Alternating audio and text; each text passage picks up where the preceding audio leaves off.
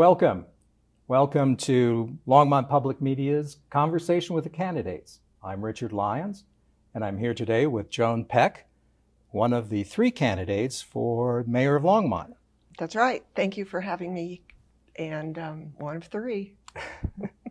Good. Well, Joan, um, tell us a little bit about yourself so Longmont can get it, to know you better. Oh, okay. Um, first of all, I've been on council for six years uh, and have lived in Longmont for, let's see, my son was four years old. So we've lived here uh, 43 years Uh-huh. um, in the same house. so uh, I came from Yuma, Arizona, where I grew up, went to school at Northern Arizona University, uh, took one of my last classes uh, in skiing. So when I graduated, I came to Colorado to ski. And I have been doing that until I got too old. Very good. So Well, what uh, one thing do you want uh, the Longmont voters to know about you? I want them to know that I don't think that city council should ever make policy in a silo. That all of our policies, um, they all interact, regardless of what we're working on. It interacts with something else, and uh, we should always know or try to figure out what the unintended consequences of our policies are, and revisit those ordinances and policies often. I, I've seen policies and ordinances that have been on there for 20 or 30 years, and I think, I think we're a little bit different town now. Yes, yes. So, yeah, it's Okay. a lot of a lot of uh, diving in and a lot of work. It is. Um, I think you've already answered this, but what brought you to Longmont? It sounds like it was skiing, right? it was skiing. You know, after growing up on the desert, I did not want to ever see a saguaro cactus again. so, but now I appreciate them. Good. What do you especially like and don't like about Longmont? You know, there's not much I don't like. Um, I like it a lot. I've I've watched it grow from fifty thousand to uh, I guess about ninety seven thousand now. Um, I think that what I don't like right now is the negative attitude about each other and uh, some of our reasons for doing things. But what I do really like is that um, residents are really engaged in conversation. They like to talk about Longmont. They love Longmont, and there's no stopping them, telling them, telling you what they want you to do. so that, to me, I like that. Very good. So here's a hypothetical for you. Okay. If the city received a million dollar grant to use for the city in any way the council wanted to determine, what would you do with it and why? Oh gosh, that's a loaded question, isn't it? There's so many things I would do with that money. First of all, I'd get the Northwest Corridor tr- commuter rail to Longmont uh, between Union Station and Longmont um, because that affects almost everything we do environmental, economic development, uh, etc. And then I would spend as much money to make sure that our drinking water and I don't know if it's going to be our drinking water, is cleaned up, whether it's Union Reservoir or to be sustainable, to thrive. Um, I would also try to protect some of the agricultural land. Very good. Joan, did, did you have a person that was your mentor um, as you were um, proceeding in life or that was very influential in your life? And, and if so, how did that person help or influence, influence you? Actually, I don't think it was one person. I think it was my whole family. I Hmm. had uh, I had 12, 11 brothers and sisters. Mm, And I realized that none of us are the same.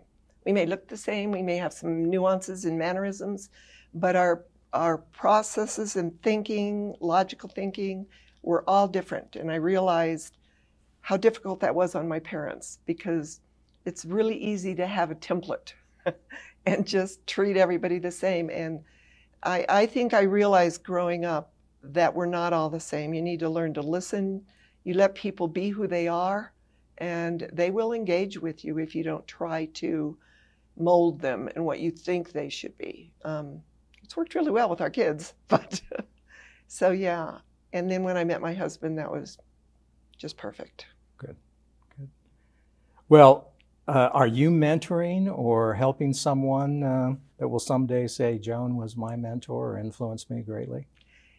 If I have, I don't know about it. but I do think, I'm glad you brought this up actually. You know, being a candidate for council and then getting on council are two huge things. There is a, a really big learning curve because you could have a passion for where, for your city and what you want it to be, but getting into the nuances, the policy making, the uh, rules of procedure, Robert's rules, it's hard. So I think that councilors should mentor candidates and people that are elected, regardless of the ideology. It would just be processes. How do you conduct a meeting? What what do certain acronyms mean? Um, mm-hmm. Different things to make the road a bit easier. Good point. Colorado and Longmont uh, have lots of recreational opportunities. Yeah. Uh, which do you enjoy, and how do you spend your recreational time besides skiing? I uh, I enjoy swimming a lot. I don't do it as much now as I used to, almost every day. Uh, early in the morning, before I'd have to go to work, when my kids got old enough to be home alone for an hour, um, and uh, cycling. I love to bike, uh, hike just about anything, be outside. Good. I love the I love the bikeways that we're creating here and the paths and the trails.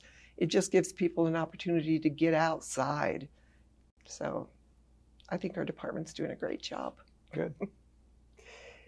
Looks like um, from the latest map that they've released, Longmont will switch from the fourth U.S. congressional district to the second.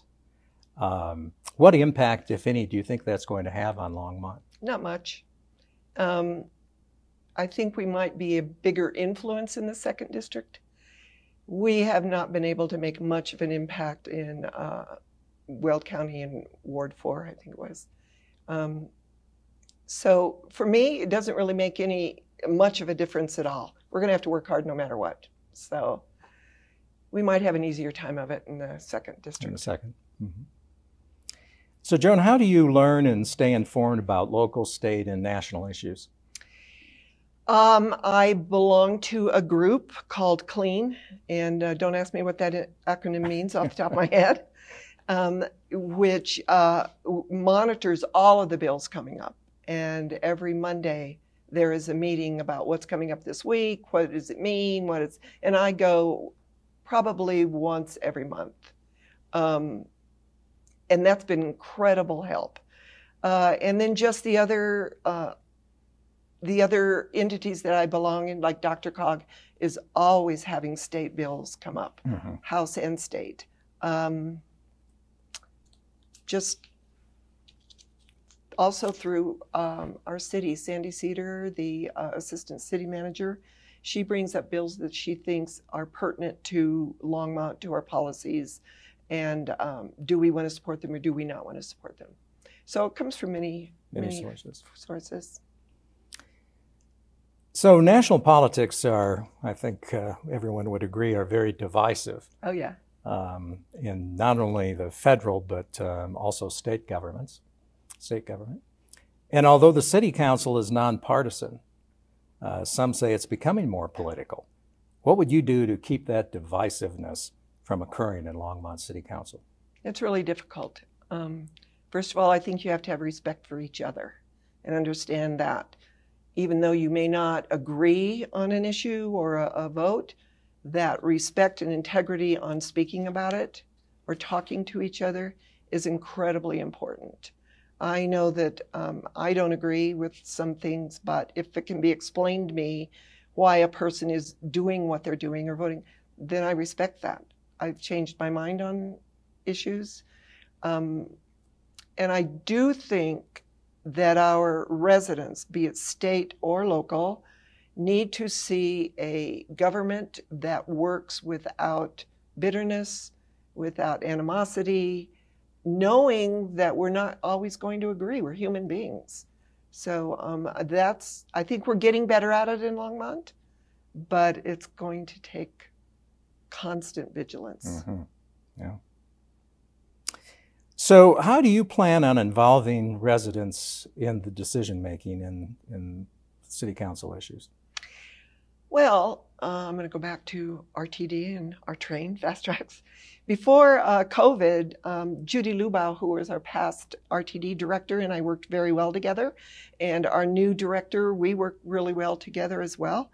Um, we were holding uh, some community events to explain what RTD was doing and what we wanted to do, both with FasTracks, et cetera, where we were going, uh, transportation. Um, and I think with our Early Childhood Coalition, we need to reach out to the residents more than we have. However, these are all new work plans that we were hit with COVID. So mm-hmm. none of this could happen in 2020. I am waiting to see what Congress does with the Build Back Better uh, loan, not loans, uh, infrastructure plans. And at that point, if we can get dollars coming for different projects, we should have community meetings about that. Mm-hmm. This is what we're planning. What do you think? Um, where should we go with it? But there's that's so regimented on what you can spend it on that it it does confine us a bit. Okay, good. So, Joan, if you could change one thing in the current municipal code, what would it be? You kind of alluded to having lots of outdated uh, uh, provisions in the code. What right, would it be? Right now, at this very moment, what I would like to change is our building uh, standards and design standards. Um, we need a, the code to say, and again, I need to do deeper research on this, but we need our code to say that we can build um, different styles of homes. We can have uh, townhouses, condominiums, uh, paired homes, um, even container homes, maybe small. That's that's a strange term, small, tiny. Yeah. I, I, don't exactly know what that means myself, but but more confined homes, uh-huh. so that people can actually thrive and build their way up and have a, a. They used to be called starter homes when I when my husband and I bought our first one. It was a starter home, and there was there were dollars for that. Um, otherwise, we probably I wouldn't be living here. Um, who knows where I'd be? So.